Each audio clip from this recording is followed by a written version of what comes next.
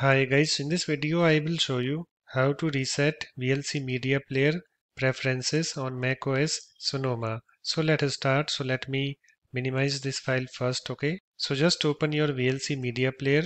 You can see it's opened and then click on VLC Media Player and then click on Settings.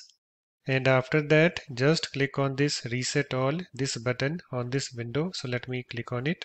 And I have this pop-up Reset Preferences. This will reset VLC Media Player's preferences. Note that VLC will restart during the uh, process, so your current playlist will be emptied and eventual playback. Streaming or transcoding activities will stop immediately. The media library will not be affected.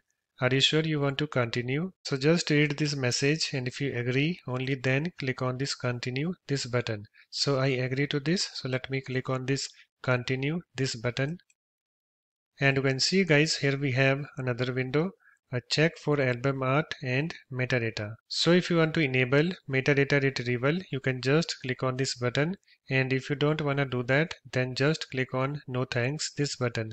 So I want to do that. So let me click on enable metadata retrieval this button and you can see guys uh, VLC media player preferences has been reset. So it's now done. So that's it. In this way you can easily uh, reset VLC media player preferences on Mac OS Sonoma. If you like my videos please support this channel by subscribing to it.